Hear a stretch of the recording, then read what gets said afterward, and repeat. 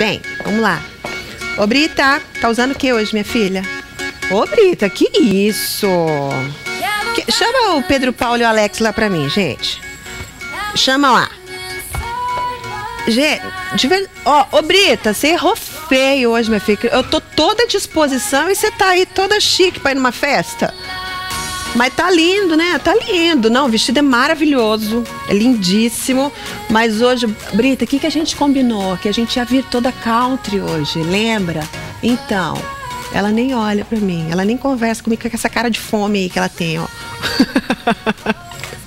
Mas tá lindo, esse vestido é maravilhoso mesmo pra, pra ir numa festa, enfim, sair à noite, né? Deixa eu colocar meu chapéu.